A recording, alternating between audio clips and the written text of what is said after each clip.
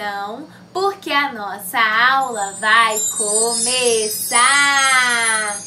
Hoje eu vou contar para vocês uma história muito legal! Mas antes, Vamos cantar a música da história? Vai começar a história, vai começar a contação. Se prepare, minha gente, abra o seu coração. Vai começar a história, vai começar a contação. Se prepare, minha gente, abra o seu coração.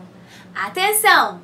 A história já vai começar! O nome da história de hoje é a caixa de lápis de cor. Era uma vez uma caixa de lápis de cor com cores lindas, cores vibrantes, cores muito lindas para colorir todos os desenhos. Mas entre todas as cores tinha uma cor que se sentia muito triste. Era o lápis da cor preta. Ele estava muito triste porque ele se sentia sozinho e não se sentia importante. Ele sabia que a sua cor era a ausência de todas as cores e isso deixava o lápis da cor preta muito triste. Ele ficava triste e isso o incomodava muito.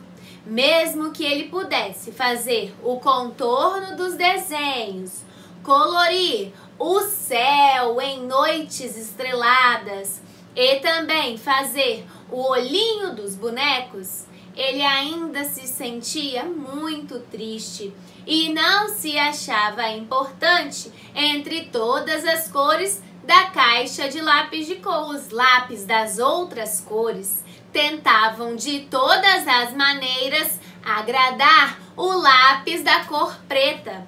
Faziam várias coisas para deixar o lápis da cor preta feliz. O lápis amarelo desenhou um lindo sorriso para alegrar o lápis da cor preta. O lápis vermelho desenhou vários corações para dizer para o lápis da cor preta o quanto ele o amava. Eram vários corações. O lápis verde colocou o lápis da cor preta em um jardim bem bonito e fez uma grama bem verdinha. O lápis azul levou o lápis de cor preta para o fundo do mar, para ele conhecer a imensidão do mar azul. O lápis laranja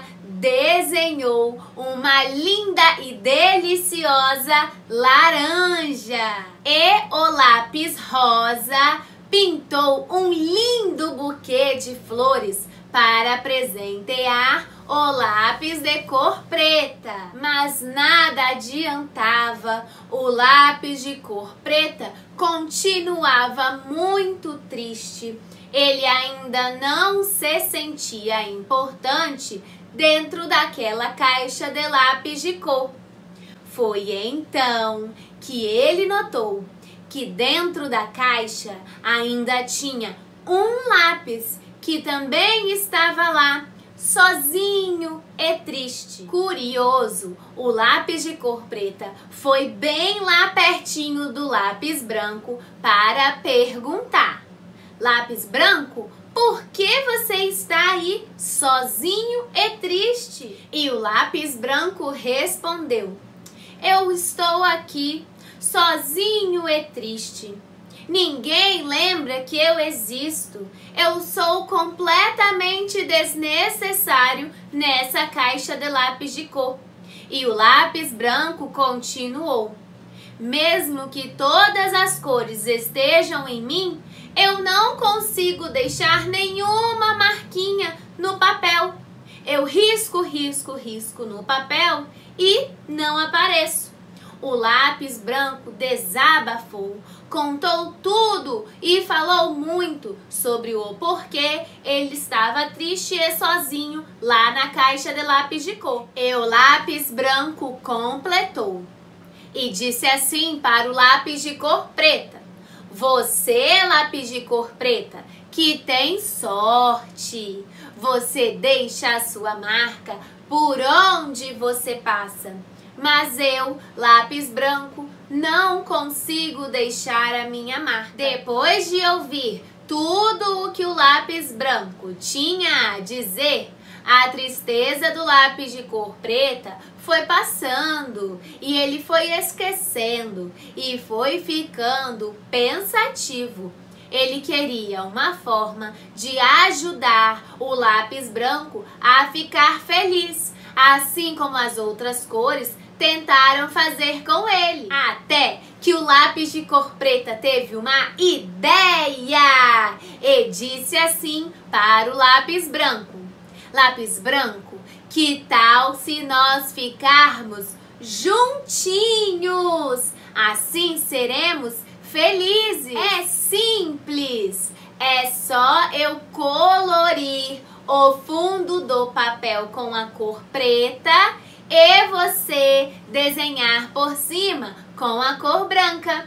Ou, ao contrário, você vai colorir o fundo do papel com a cor branca e eu vou desenhar por cima com a cor preta. Gente! E não é que deu certo? A ideia do lápis de cor preta foi ótima! O lápis branco adorou a ideia e assim eles ficaram juntinhos e saíram por aí fazendo arte, desenhando por onde passavam. Vejam aqui quantos desenhos bonitos com a cor preta e com a cor branca. Juntinhos, eles são mais felizes. Agora sim, todos os lápis da caixa de cor estão felizes. E nunca mais se viu duas cores que ficassem tão bem juntinhas como a cor preta e a cor branca. E aí, G3, gostaram da história da caixa de lápis de cor? Foi muito legal! E lá na apostila nós temos uma atividade com as cores preta e branca. Vamos ver a atividade? Na apostila, desenhar nas páginas 20 e 21, nós temos uma atividade para vocês experimentarem pintar com a cor branca em uma folha toda preta. Essa atividade vocês podem realizar com tinta branca, carimbando a mãozinha de várias formas em cima da folha preta Façam com bastante capricho. Então é isso, G3. Essa foi a nossa aula de hoje. Brinquem muito com as cores, pois todas elas são importantes. Um beijo da tia Keila no coração de vocês. Vocês estão no meu coração. Tchau e até a nossa próxima aula!